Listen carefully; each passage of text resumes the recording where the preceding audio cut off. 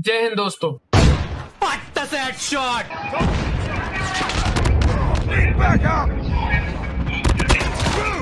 खेल तो हम रोज ही खेलते हैं दोस्तों। कभी अपने साथ तो कभी अपने दोस्तों के साथ। लेकिन जो खेल हम मोबाइल और कंप्यूटर पे खेलते हैं उसके लिए दो चीज़ें चाहिए होती है। सीपीयू और जीपीयू। सीपीयू होता है सेंट्रल प्रोसेसिंग यूनिट जो कि कंप्यूटर का दिमाग होता है और जीपीयू होता है उसकी आँखें, क्योंकि वो जो है हमें गेम की दुनिया जो है दिखाता है। और इसकी फुल फॉर्म भी यही होती है ग्राफिक्स प्रोसेसिंग यूनिट और यही जीपीयू में जब हम पंखे लगा देते हैं हीट सिंग लगा देते हैं, और भी दो तीन चीज़ें लगा देते हैं तो ये ग्राफिक कार्ड बन जाता है। थोड़ी सी प्रोफेसर गिरी हो गई स्टार्टिंग में बट मुझे लगा कि ये डिफरेंस समझाना बहुत ज़्यादा ज़रूरी है। अब बात करें तो मार्केट में तीन कंपनी है मेनली जो ये ग्राफिक कार्ड बनाती हैं इंटेल एनवीडिया और एएमडी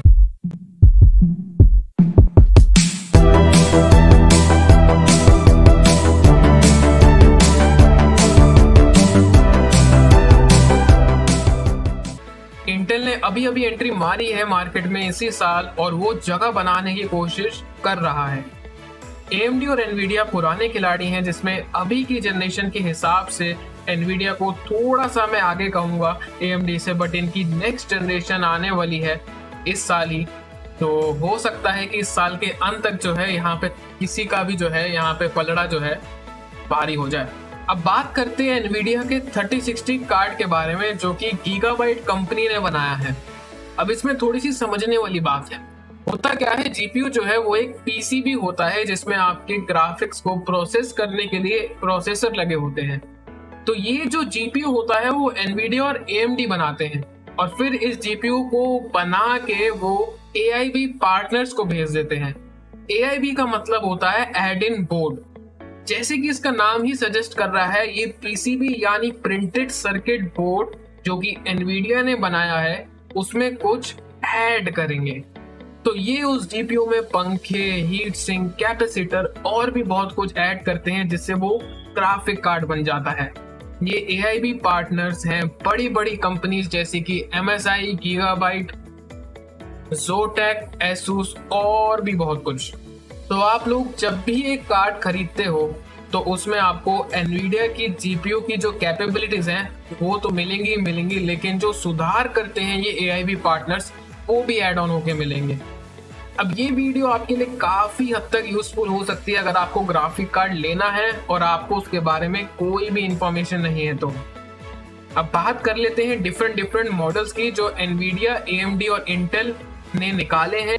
तो बात करें ए और एनवीडिया की, दोनों की अभी लेटेस्ट जनरेशन जो मार्केट में अवेलेबल है, वो है ए की 6000 सीरीज़ और एनवीडिया की 3000 सीरीज़ हो सकता है जब आप वीडियो देख रहे हो तब कोई दूसरी जनरेशन आ गई हो। इंटेल ने इस साल मार्केट में एंट्री ली है और उन्होंने जनरेशन ऑफ़ कार्ड्स का नाम इंटेल आर्क रखा है। तीनों ही companies entry level mid level और हाई एंड सेगमेंट के लिए ग्राफिक कार्ड्स निकालती हैं, जिससे आपका जो बजट है, उस बजट में आपको बेस्ट परफॉर्मेंस दे दी जाए। अब कार्ड कौन से सेगमेंट में आता है, ये एम से डिसाइड होता है, जो कि एनवीडिया और ए सेट करते हैं। एम होता है मैन्युफैक्चरर सजेस्टेड रिटेल प्राइस ये इसलिए होता है ताकि जितने भी ए पार्टनर्स हैं, वो इस प्राइस के आसपास जो है कार्ड की एमआरपी रखें सारी इनहेंसमेंट करने के बाद। बट ये एमएसआरपी सिर्फ़ नाम की थी कोविड के बाद से चिप शॉर्टेज के कारण और डिमांड ज़्यादा होने के कारण। कार्ड्स दो गुने प्राइस पे भी बिक रहे थे इस एमएसआरपी के कारण। लेकिन अब जब मैं ये वीडियो बना रहा हूँ, तब काफ़ी हद तक प्राइजेस एमएसआरपी के करीब आ गए हैं। तो दोस्तों, अब बात करते हैं एनवीडिया और एएमडी के मॉडल्स के बारे में। तो एनवीडिया और एएमडी हर दो साल में नई जनरेशन निकालते हैं और 2022 में भी इनकी नई जनरेशन एनवीडिया 4000 और एएमडी 7000 सीरीज़ आने वाली है। तो मैं आप लोगों से रिक्वेस्ट करूँगा कि अगर आपने अभी तक ग्राफिक कार्ड्स नहीं लिए हैं तो थोड़ा वेट कर ले नई सीरीज़ का। लेटेस्ट जनरेशन एनवीडिया की 3000 है और एएमडी की 6000 है। इंटेल अभी मार्केट में नया है और बहुत ज़्यादा लेट आया है। इंटेल ने दावा किया था कि वो 2021 में कार्ड लॉन्च करेगा, लेकिन कार्ड्स अभी भी पब्लिकली अवेलेबल नहीं है इंटेल आर सीरीज़ के। तो इसलिए इस वीडियो में जो है हम इंटेल के कार्ड्स के बारे में जो है डिस्कस नहीं करेंगे, सिर्फ़ एनवीडिया और एएमडी के बारे में डिस्कस करेंगे। अब मॉडल की बात करी जाए तो एनवीडिया के दो सीरीज़ आती हैं, एक जीटीएक्स सीरीज़ और एक आरटीएक्स सीरीज़ एनवीडिया की जीटीएक्स सीरीज़ लगभग 10 साल मार्केट में चली, लेकिन 2018 में आरटीएक्स कार्ड लॉन्च करे एनवीडिया ने, उनकी 2000 सीरीज़ की जनरेशन में जिनका मॉडल था 2060, 2060 सुपर 2070, 2080, 2080 Ti और 2080 सुपर। फिर 2020 में उन्होंने अपनी 3000 सीरीज़ लॉन्च करी जो कि RTX आर्किटेक्चर की सेकेंड जनरेशन है और इस जनरेशन RTX आर्किटेक्चर को एनवीडिया ने एम्पेयर नाम दिया था। अब आप ऐसा मत समझना कि सारे कार्ड मॉडल्स एक जनरेशन के एक साथ लॉन्च हो जाते हैं। पहले हायर कार्ड जो हैं लॉन्च होते हैं जैसे कि 3090, 3080, 3070 फिर मिड रेंज कार्ड्स उनके दो तीन महीने बाद लॉन्च करे जाते हैं जैसे कि 3060 और अभी 2022 में ही एक बजट कार्ड निकाला है एनवीडिया ने जिसका मॉडल नंबर है थर्टी 3050 GTX और RTX में मेनली आर्किटेक्चर का फ़र्क है और परफॉर्मेंस का फ़र्क है। GTX कार्ड्स 180p गेमिंग भी मुश्किल से चला पाते हैं, जबकि आर टी एक्स कार्ड के लिए वो मज़ाक है। बाकी जी टी एक्स कार्ड अभी काफ़ी पुराने हो चुके हैं बट क्योंकि एंट्री लेवल में अच्छी परफॉर्मेंस दे देते हैं, इसलिए आज भी मार्केट में वो बात करी जाए AMD की तो AMD के 5000 और 6000 series R D N architecture पे बेस्ड है।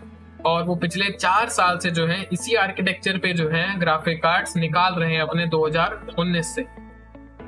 इससे पहले AMD के GCN आर्किटेक्चर पे बेस्ड कार्ड्स आते थे, जो कि अच्छे थे बट गेमिंग के लिए सफिशिएंट नहीं थे। इस साल RDNA 3 आर्किटेक्चर के साथ AMD 7000 सीरीज़ लॉन्च करेगा। AMD के ग्राफिक कार्ड्स लाइनअप बड़ी सिंपल सी रहती है।